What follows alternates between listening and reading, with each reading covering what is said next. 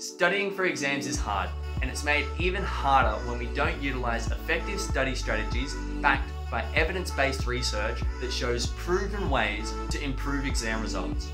The strategy I want to talk about today is spaced repetition. In today's video, I'm going to highlight what spaced repetition is, why it's valuable to understand and utilize this in your study routine, some evidence-based studies that support this, and ultimately how you can utilize it into your day-to-day -day studying.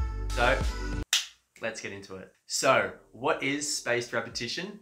Essentially, it just involves spacing out your study sessions for each topic strategically so that we can optimize and maximize our retention of information for the long term. We utilize this so that we can combat something known as the forgetting curve theory. The forgetting curve is basically a theory on how we forget content. If new information isn't retained and isn't restudied, we'll forget it. I know, groundbreaking stuff, right? Our steepest decline and loss of memory retention is within the first couple hours to a day after learning new information. That's why when you've just come out of a lecture at uni and you're full of all this great information that you've just learned, within just a couple hours or by the end of the day, you remember absolutely none of it. From the moment we learn something new, this forgetting curve is playing a continuous tug of war between retention and forgetting, which is why it's so crucial to relearn and restudy new information sooner rather than later so that we can combat this initial steep decline in retention. So for example, say if you learn something new, right? And then within two days, the forgetting curve goes all the way down to zero and you've completely forgotten it. So what do you do? Well, after learning it, you then relearn the content the day after. That way, the curve resets, goes right up to the top and starts all over again and then it might decline in like say seven days. So you'd relearn it three days later and it would reset again.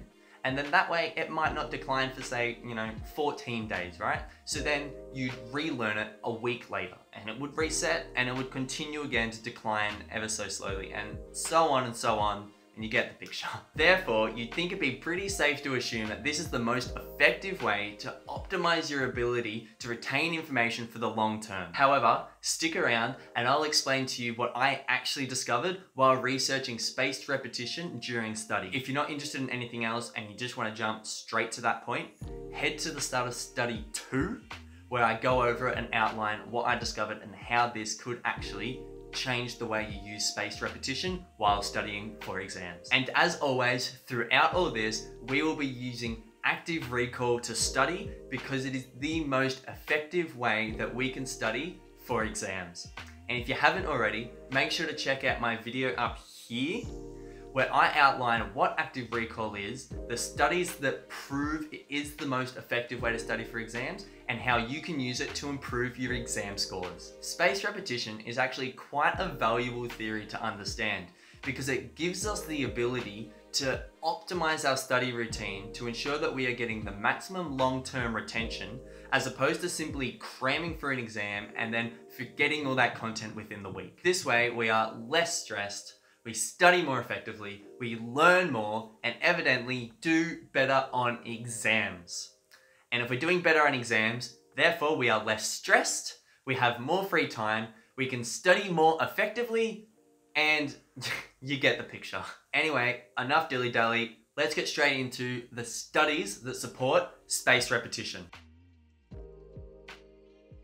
Alright, so getting straight into the first study that I wanted to talk about today, what they tried to do is that they tried to model an equation to actually measure the rate of forgetfulness. So what they actually discovered was that retention rate follows an inverted U-shaped curve which translated to this one key piece of information. And it was the conclusion that mass practice does not improve retention rate. If the information is still in the learner's short-term memory, then restudying and relearning does not improve long-term retention. Therefore, stating that studying needs to be undertaken a certain time frame past the point where you can't recall the information effectively, thus making it harder to recall and study the information. But that's exactly what we want because the harder we have to work to recall the information, the stronger the link becomes between the neurons in our brain,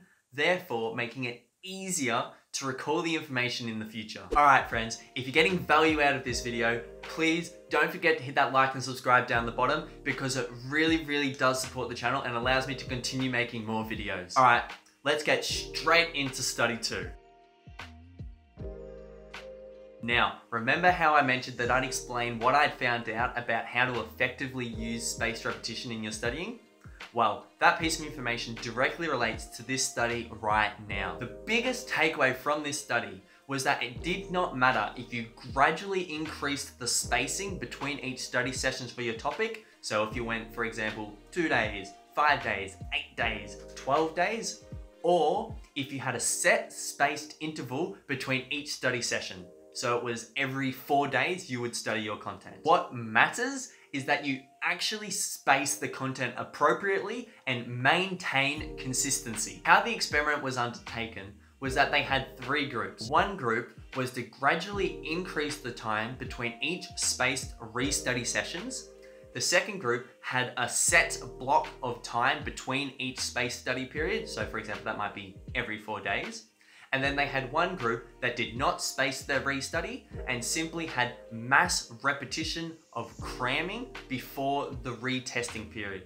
And all groups obviously had the same testing period. Now, when comparing the test results for each group at the end of the study, they found that the two groups that undertook spaced repetition compared to the mass repetition cramming group actually had a 200% increase in long-term retention of the facts. Absolutely mind-blowing, right? However, and as I touched on before, the particular way that each restudy session was spaced did not affect the overall retention. Basically meaning that neither group that used spaced repetition outperformed the other. This would appear to be good news for students, educators, and researchers alike all interested in implementing spaced repetition into their study routine. And that's because it all leads to one straightforward conclusion. And that is that increasing the absolute spacing of retrieval attempts has clear value for learning. However, the way that the information is spaced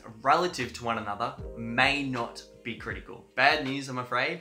This, however, did further the claim that cramming for tests is not an effective way of studying and retaining long-term information. Now, this study did actually find one interesting little piece of information. That was that if you are going to cram, they found that through retrieving information multiple times without spacing had just as little effect as simply recalling the information once. So I'm not telling you not to cram for your exams, I'm telling you to cram smarter. To if you are going to cram for your exams, recall it once and then maybe recall it a second time before going to bed and save yourself a little bit of time as opposed to constantly repeating it a hundred times throughout the day. So the best way that I've found to optimize space repetition into our study routines is to create some sort of study organizational system. Basically, this means just breaking up your study into topics and then reviewing them each day. After you've reviewed them and restudied them, you then color code them based on how hard they were. So if it was really easy, you'd give it a green. And that would mean that you probably don't study it for say seven days. If it was pretty difficult, you'd probably give it an orange or a yellow. And that means that you'll restudy it in two or three days time. And if you really struggled and didn't know it at all, give it a red and you want to either restudy it later that day or first thing tomorrow. And of course, the aim is to get every category green. If you are struggling to maintain this system or you just don't think it'll be the right fit for you and you don't really think it'll work, another much simpler, much easier way to go about it is to simply ask yourself each day, if the exam was tomorrow, what would I not want on the exam. That way, you know exactly what you need to study today, and then you can just continue that every day until you sit the exam and you should be all set. If you've enjoyed this video and you've got a lot out of it, make sure to check out my playlist that I've made just for you that outlines how best to study for exams based by evidence-based study tips and how you can use them to improve your study routine and ultimately perform better on exams. If you enjoyed this video and you got a lot out of it, as usual, make sure to hit that like and subscribe down the bottom so you don't miss when I upload my next video. Feel free to leave a comment down below about what study strategies you use and maybe a request for a video that you'd like me to cover in the future. Alright, that's us for today guys. Until next time, see ya.